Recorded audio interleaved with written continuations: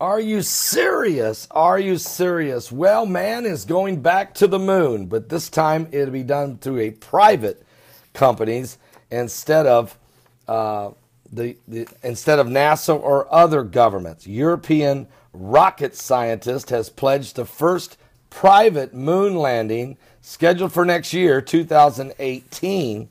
According to reports, uh, this group of European rocket engineers called PT Scientist or part time scientist has completed its construction of a landing module and two rovers, which are expected to launch about aboard Elon Musk SpaceX Falcon 9 rocket, which will be uh, entering the space uh, in 2018.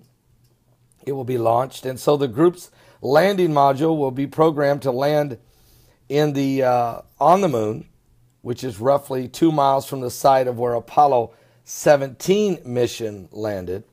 Actually, according to the Telegraph out of the UK, the landing module will deploy two rovers with the goal of tracking down NASA's moon buggy, which was left behind by Gene Cernan, who was the last man to have stepped foot on the moon.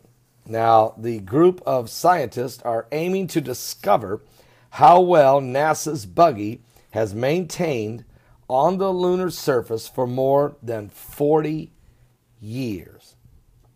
This is a crucial first step for sustainable exploration of the solar system. So that's why they're going to go find the buggy. Uh, so this is interesting, all right? It's, it is kind of interesting that we haven't put another man on the moon in 40 years.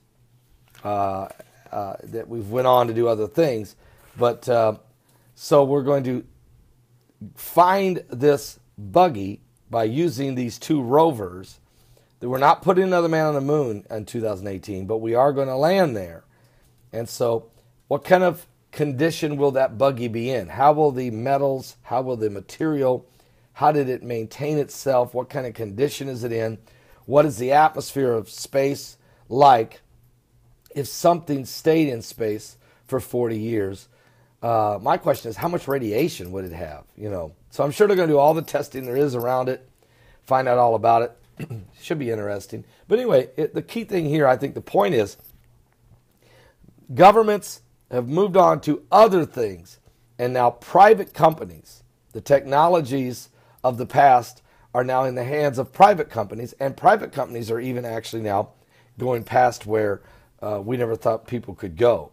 For instance, SpaceX, uh, led by Elon Musk, can launch a rocket and then drop it back down on the same spot or, or on a platform. Uh, re- I mean, this is unbelievable. I even see when he re landed that one rocket on a floating platform in the ocean. Just incredible in, uh, ability. But uh, that's how we're advancing. The technological age has advanced in so many areas that it's just unbelievable. But the Bible said it would. Men would be ever learning, but never able to come to the knowledge of the truth. This is incredible to me. But ever learning, but never able to come to the knowledge of the truth. What is the truth? Well, Jesus said, I am the way, the truth, and the life. And so no man can come unto the Father but by me. We can climb high into the heavens, folks, but we cannot reach that dimension, that heavenly level, that third heaven, without being born again, saved by grace through Jesus Christ. I'll be back with more current world events and how they relate to biblical prophecy. You don't want to miss today's live broadcast. Starts at 12 noon Eastern. My guest, L.A. Marzulli. What? Yes. Get an update about what's happening with the Nephilim research. I'll be back with more.